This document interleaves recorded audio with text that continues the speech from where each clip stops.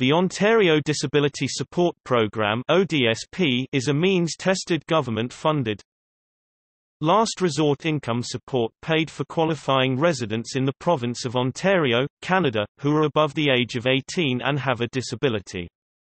ODSP and Ontario Works are the two main components of Ontario's social assistance system. Like most social programs in Canada, the program is funded by the government of the province.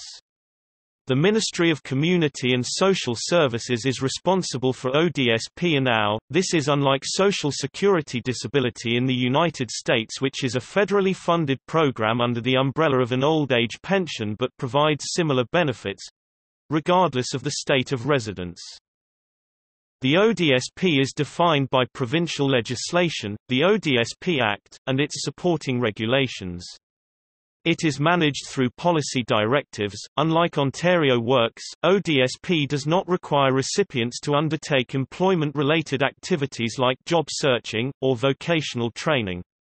This is determined through a subjective evaluation of four criteria that are defined within the ODSP Act. The disability is continuous or recurrent. It is expected to last for a year or more.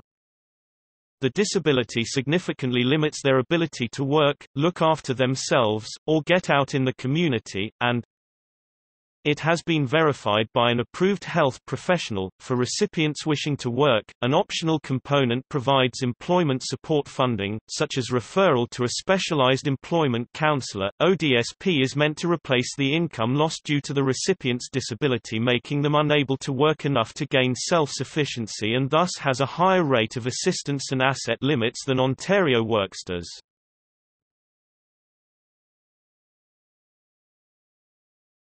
Topic: Verification process. The disability determination package is used to collect information about the disability. The two main parts of the disability determination package must be completed by an approved healthcare professional. These parts are Health Status Report – collects information about the applicant's medical condition, its impairments, restrictions and expected duration, as well as treatments. Activities of Daily Living Index – collects information about the impact of impairment on the ability to work, care for self and participation in the community. Healthcare professionals who are approved to complete both the Health Status Report and Activities of Daily Living Index Ophthalmologists Optometrists Physicians Psychological associates Psychologists Registered nurses in the extended class healthcare professionals who are approved to complete the activities of daily living index only Audiologists Chiropractors Occupational therapists Physiotherapists Registered nurses Social workers Speech-language pathologists Topic. Benefits The program is paid monthly to a benefit unit which can consist of a single person between 18 and 65 or a senior citizen who is ineligible for old age security or Canada Pension Plan and any others who may require the person's support. This can be any corresponding dependent adults who do not qualify for assistance though they are subject to workfare requirements, children under their individual's care, or a spouse. The ODSP benefit has two main components, a fixed basic needs allowance, and an amount for housing that is variable.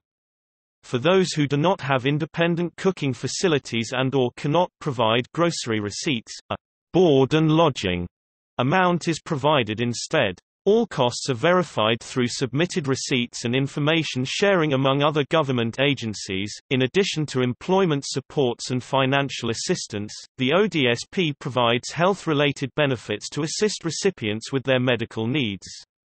These include prescription medication coverage for medications listed on the Ontario Drug Benefit Formulary, a copayment may apply.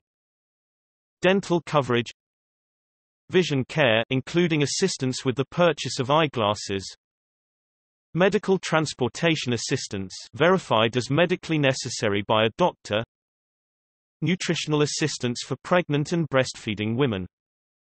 Coverage for medical supplies related to a recipient's disability.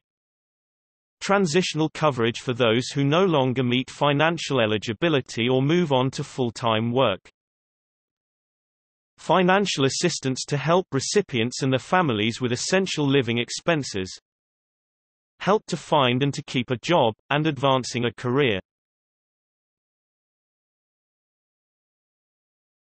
Topic.